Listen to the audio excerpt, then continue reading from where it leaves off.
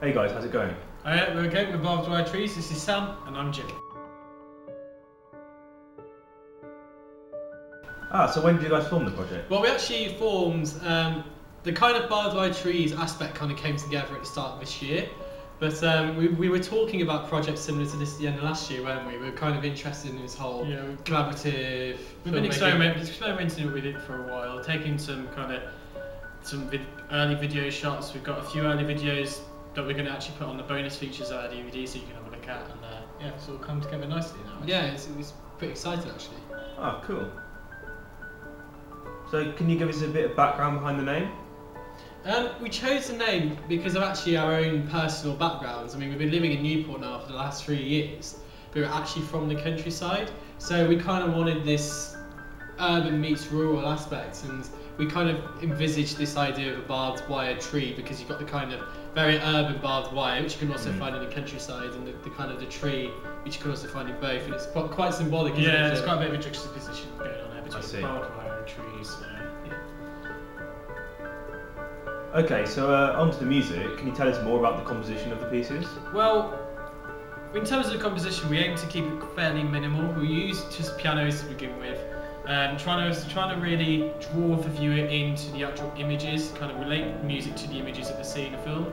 Later on, during the uh, mixing process, we actually added some MIDI instruments as well. But it's still just trying to keep it minimal, Mm. trying to get it to relate to what's actually going on on screen. Max Richter is one of our kind of um, inspirations in this kind of field because he composes with quite minimal piano. And uh, we were kind of drawn to this holy, there's a group called the Holy Minimalists. And we were kind of drawn to how they use their piano in such a way that kind of creates a sense of fullness and atmosphere while being very minimal. Okay. So you mentioned uh, producing there. I mean, did you do it all yourselves, and was it a lengthy process?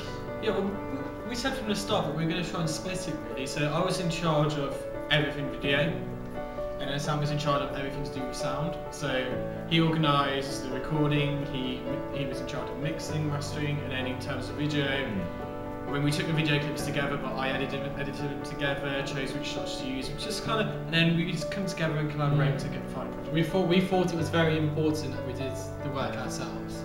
Um, we think that in such a project like this, it's important that you get involved as much as you can.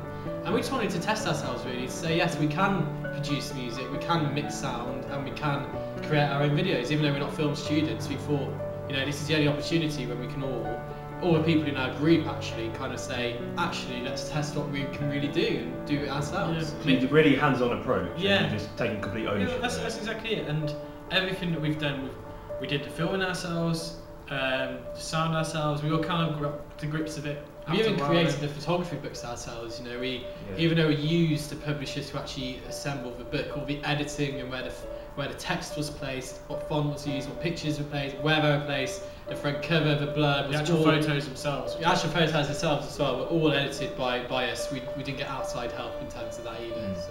And I- I'm, I'm guessing you don't want to give too much away here, but could you give us a little bit of clue in more detail where the film was filmed?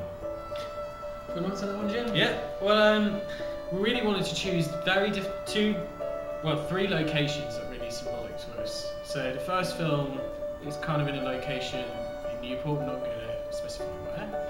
The second film is more about a location at home that has had a lot of history, had a lot of change over time. Where's Come- that? Uh, it's at Clee Hill. It's actually where where we're living at the moment, back at home. It's got quite an industrial past, and Newport has as well, and that's the first kind of similarity we found between the two. So we thought that in the second video we would create a kind of commentary about this kind of in- industry-related side. I mean, it was a lot of quarry working happened at on Yeah. Hill, so we got some stock footage of. Yeah, we don't, quarry we don't, we don't say Of too course, much. we, yeah, we don't want to say too much, but yeah, that, that's a bit of a clue as to where we're coming from. And then the, the third video is, is more to do with um, just general lands, the landscapes of the two different places. But we don't want to give too much away because obviously it's spoiled video. We want you to. Yeah, absolutely. So, what do you want the audience to get from this project? Really, we really want them to understand how we see the two different places where we live, how we see the world, and how the world has changed in these two different locations, whether it be for political reasons, for industrial reasons, and then just kind of Environmental. yeah, reasons exactly, well. environmental reasons, and just highlight the beauty that's present in both in both environments. Really. One of the great kind of things that happened was when we showed somebody quite senior um, on the course one of our videos, the first thing they said was, I can see where you're coming from. I can see how you see nature in the urban area. I can really see the barbed wire trees is actually what he said, which we thought, you know, great, that's what we want people to experience. So you're neither pro rural or urban. It's just a kind of a love of both. We pro, we pro both, and we see downsides with both, but we also see beauty with both as well. Mhm. And that's something that we think is very important. We spend a lot of time Every time we go, because I work back at home, every time I go on the train, it's travelling from one to the other. It's just, after three years, you just kind of understand more about the differences and similarities between two different environments. Yeah. So um, have you got any future plans for barbed wire trees? Well, I have actually um, wanted to organise a meeting with the museum in Newport because I have an exhibition space in the town centre and I thought it would be quite nice to have it exhibited so that people can have can walk around and look at the posters, look at the photos, watch the films, hear the music.